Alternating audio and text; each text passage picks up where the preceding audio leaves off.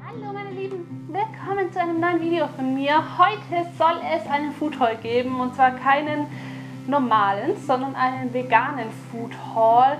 Ich habe mich nämlich entschieden, die 30-Tage-Challenge von Attila Wildmann zu machen. Und zwar hat er ein Buch rausgebracht, das nennt sich Vegan for Fit. Das habe ich hier auch. Und da geht es einfach darum, dass man sich mal 30 Tage lang ohne tierische Produkte ernährt. Das würde ich gern ausprobieren, weil ich ja auch gern Neues ausprobiere und gern neue Rezepte und Geschmäcker ausprobiere. Und deswegen habe ich jetzt aber erstmal nur für vier Tage eingekauft. Denn Gemüse wird schnell gammelig. Das heißt, man muss eben oft frisch einkaufen, also mindestens zweimal in der Woche. Und ja, deswegen seht ihr meine ersten vier Gerichte. Wenn euch interessiert, was ich so eingekauft habe, was auch manchmal wirklich sehr exotisch ist, dann bleibt dran. In the dark we, we, we stand apart, we, we never see that the things we need. Als allererstes durfte mit ein Sojajoghurt. Das ist jetzt die Geschmacksrichtung Vanille. Ähm, ich habe auch noch einen normalen, aber ich wollte halt auch mal Vanille ausprobieren. Sojajoghurt habe ich schon mal gegessen. Er schmeckt eigentlich ganz okay. Nicht so säuerlich, also nicht so sauer wie ein normaler, aber auf jeden Fall essbar. Und das benutze ich so fürs Frühstück einfach. Für Müsli zum Beispiel. Als nächstes haben wir Himbeeren. Die habe ich dreimal mitgenommen und zeige sie euch jetzt nur einmal. Ja, auch für ein Frühstück, das mega lecker aussieht aus dem Buch. Das ist so ein Himbeereis äh, mit so zwei Amaranth Crackern. So, ja, auf jeden Fall sieht es mega lecker aus und ich bin so gespannt, wie es schmeckt. Und dafür eben die Himbeeren. Da habe ich auch noch tiefgekühlte genommen. Das war jetzt einfach stellvertretend für alle Himbeeren. Dann brauchte ich noch für ein Patty-Rezept, also für ein Burger-Rezept, Seidentofu. Der unterscheidet sich vom normalen Tofu in dem Stück, dass er einfach ja, eine andere Konsistenz hat. So ein bisschen wie Frischkäse, würde ich sagen. Den habe ich aus dem Bioladen. Ach so, ich werde euch die Preise jetzt nicht hinschreiben, da das wirklich relativ viel ist. Wenn euch irgendwas interessiert, sagt es mir gerne in den Kommentaren und dann sage ich euch auch, wie viel es gekostet hat. So, dann kam zweimal mit Haferdrink. Ähm, ich mag Sojamilch gar nicht, also die schmeckt mir überhaupt nicht, aber Haferdrink ist ganz lecker und ähm, Mandelmilch ist auch mega gut. Genau, deswegen durfte das gleich zweimal mit. Ist auch für irgendein Rezept. Dann durfte noch mit von DM der Bio-Amaranth gepufft. Genau, eben für dieses Frühstück, was ich euch gesagt habe, mit den Himbeeren. Bei veganen Gerichten darf man natürlich auch keinen Käse nehmen und wenn man jetzt aber irgendwas überbackt, dann ist es natürlich viel leckerer, wenn man es eben auch mit etwas überbacken kann. Und deswegen wird da oft Mandelmus benutzt. Jetzt habe ich das Mandelmus, das weiße mal mitgenommen, da gibt es noch ein braunes ähm, ja, ich denke einfach vielleicht, dass das ein bisschen leckerer ist, weil das ähm, Braune einfach mit Schale ist und dann wieder mehr so einen Vollkorn-Touch hat. Auch wenn es gesünder ist, ist es einfach nicht leckerer. Es ist leider so. Und ja, genau. Das wird da oft benutzt. Es wird auch oft für Soßen benutzt. Und ich bin gespannt, wie das schmeckt, denn ich habe noch nie sowas probiert. Dann, weil es eben sein musste und in einem Rezept vorkam, habe ich eben doch mal nochmal Sojamilch mitgenommen. Ich gebe dem allen noch eine Chance. Ich schaue jetzt mal, für was es ist, beziehungsweise ich denke, also es wird nicht pur getrunken, es wird mit anderen Zeug gemischt und gesüßt und alles und ich hoffe, dass es dann gut schmeckt und ja, dass man mich dann doch noch davon überzeugen kann. Ich habe ja auch vor, so Burger Patties zu machen und ich glaube, dafür war der Sesam gedacht oder es war für die Brötchen vom Patty, auf jeden Fall etwas davon. Dafür braucht man Sesam und da habe ich auch den aus dem DM mitgenommen. Dann habe ich noch Kakao mitgenommen. Ähm, es sollte Bio-Kakao sein, ist es hiermit auch, ähm, um Schokolade zu machen, was ich mir dann später auf mein Schokoladenmüsli machen möchte, was auch in diesem Vegan for Fit Buch ist. Und ich bin auch sehr gespannt, ob diese Schokolade an die normale Schokolade rankommt. Aus diesem Grund habe ich ihr auch Vanille mitgenommen und auch um das Frühstück vielleicht ein bisschen zu verfeinern. Vanille ist eigentlich in fast allem gut, was süß ist und ja, genau, deswegen Vanille. Dann stand in einem Rezept noch Cashew-Mousse und ja, diese Mousse sind auf jeden Fall auch sehr teuer. Ich glaube, die kosten so 6, 7, 8 Euro eins. Ich hoffe einfach mal, dass es diesen Monat langt. Also wir machen das ja erstmal eine Woche und wenn wir es gut fanden, machen wir es voll durch. Und ähm, ich bin echt auch gespannt, ob das anders schmeckt als das Mandelmus oder ob das alles gleich schmeckt. Ja, Cashew-Mousse. In ein paar Rezepten stand auch drin, dass man sich Räuchertofu dafür nehmen soll. Es soll auch sehr gut sein als Speckersatz, wenn man das so würfelt und zum Beispiel eine Spaghetti Carbonara zu machen. Habe bin ich auf jeden Fall sehr gespannt drauf, wie das schmeckt. So was habe ich noch nie probiert. Ähm, Natur-Tofu ja, aber Räuchertofu nicht. So, dann mal was Normales und zwar einfach getrocknete Tomaten. Da kann man einfach ein Pesto zum Beispiel draus machen. Ist, glaube da sogar dafür gedacht, oder? Für Ketchup oder so.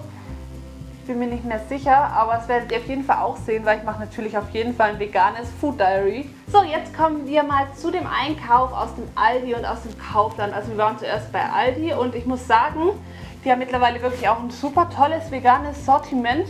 Also die haben ganz, ganz viel Tofu-Variationen als Hackfleisch, ganz normales Tofu, was dann viel günstiger ist als das vom Kaufland.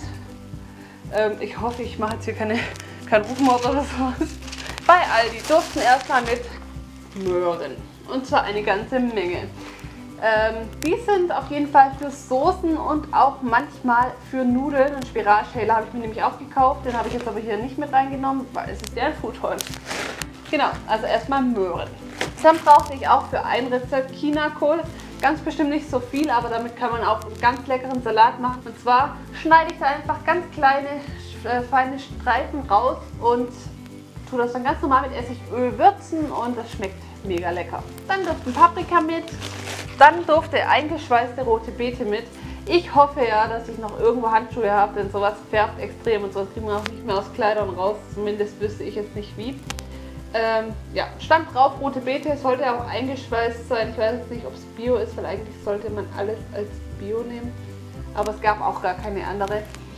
Ähm, das ist, glaube ich, für ein Abendessen. Das werdet ihr aber alles in meinem Food Diary sehen. Dann einmal Bananen, die sind auf jeden Fall vegan. Und ähm, Finn liebt Bananen, also die habe ich einfach so mitgenommen. Und man kann auf jeden Fall damit auch sein Frühstück aufpeppen. Und ja, Bananen dürfen bei uns nie fehlen. Dann Auberginen richtig schöne. Und zwar sind das ähm, der Ersatz für Lasagneblätter, also diese Nudelblätter. Da wird eine leckere Gemüselasagne draus gemacht, die man dann abends isst. Dann eine Gurke, einmal Zucchini. Zucchini wird auf jeden Fall öfter gegessen bei uns jetzt, weil ähm, sehr oft einfach die Gemüsenudeln aus Zucchini bestehen und ich habe das auch so schon gegessen. Das könnt ihr auch mal zum Beispiel mit Bolognese essen, schmeckt wirklich mega lecker. Ich glaube, es sind Zucchini-Nudeln und da macht man das Mandelmus irgendwie als Soße mit drauf irgendwie. Ich glaube, sowas habe ich gelesen in dem Rezept. Dann rote Zwiebeln, das ist auch für ein Rezept. Rote Zwiebeln sind eben ein bisschen milder als die weißen, ich mag eigentlich die weißen lieber, weil ich liebe Zwiebel und einmal Tomatenmark für Tomatensoßen. Dann durften einmal mit Mandeln und einmal Haselnüsse, Süßkartoffeln. Ich bin mir nicht ganz sicher, entweder werden da Chips draus oder es werden Pommes draus, glaube ich. Ich bin mal sehr gespannt, also ich kenne Süßkartoffeln, habe damit mal Pommes gemacht, die haben überhaupt nicht geschmeckt. Aber es das heißt ja, wenn man was dreimal gegessen hat, mag man es, da bin ich mal gespannt, ob das bei mir genauso ist. Und gesund sind sie auf jeden Fall sehr. Dann einmal ganz normale Kartoffeln für diverse Sachen. Brokkoli. Ich liebe Brokkoli, ja. Ich finde Brokkoli richtig lecker. Zuckerschoten. Auch für irgendein Rezept, was ihr sehen werdet. Dann hier nochmal Sesam. Ich hatte ja vorher noch einen Sesam umgeschält. Das ist jetzt aber ein geschälter Sesam, weil ich brauche einen dunklen und einen hellen Sesam. Und ich glaube, dass einfach der ungeschälte eben der dunkle ist und der der helle dann. Dann einmal Sesamöl, das war auch in einem Rezept drin. Ich bin mal gespannt, ob es wirklich anders schmeckt als anderes Öl. Denn bis jetzt kam es mir immer so vor, als würde das alles gleich schmecken. Ich kann jetzt mal dran riechen, jetzt kann ich es ja aufmachen. Das wird ja eh bald benutzt. Oh, das riecht sehr nach Sesam. Mhm. Also schmeckt auch nach Sesam. Ja. Bin ich sehr gespannt. Ich denke mal, dass man damit vielleicht die Patties dann brät voll die kleine Flasche und die war echt teuer. Also ich hoffe, ich habe da dann auch wirklich was davon und das hat sich gelohnt. Dann haben wir hier noch zu allerletzt ein Johannisbrotkernmehl. Bindefix für Warmspeisen. Genau. Ja, also ich glaube einfach, das ist sowas wie Stärke. Ähm, und man kann es auch als Eiersatz nehmen, so als Bindemittel. Also ich weiß nicht mehr genau, für was das jetzt war, aber ich glaube, es kam auch öfter vor. Ähm, schließlich darf man ja auch kein Ei nehmen und ja. Ähm, bin sehr gespannt, für welches Rezept das ist. Also wie ihr merkt, ich habe jetzt nicht von jedem Rezept gewusst, für was es ist. Ähm, es liegt einfach daran, weil viele Sachen dabei sind, die ich nicht kenne. Ich habe zum Beispiel gerade Sesamöl oder dieses Johanniskraut oder ja, ihr wisst, was ich meine. Ne? Und das war es auch schon mit meinem veganen Food Haul. Ich hoffe, der Food Haul hat euch auf jeden Fall gefallen und hat euch vielleicht ein bisschen neugierig gemacht auf mein Food Diary, das dann demnächst kommt. Ich bin auf jeden Fall schon mega gespannt, wie das alles schmeckt werde ich das auf jeden Fall verraten. Also was gut aussieht, muss nicht gleich gut schmecken. Falls ihr vielleicht euch auch vegan ernährt und ein paar Tipps habt, was wirklich lecker schmeckt, was ich unbedingt probieren sollte, dann sagt mir das. Ich habe bis jetzt ja erst für vier Tage eingekauft und eine Woche machen wir auf jeden Fall. Wenn euch das Video gefallen hat, dann lasst mir auf jeden Fall einen Daumen nach oben da. Ihr könnt natürlich gerne einen Kommentar schreiben. Ich freue mich immer mega über eure Kommentare. Dann wünsche ich euch noch einen schönen Tag und bis zum nächsten Mal. Ciao!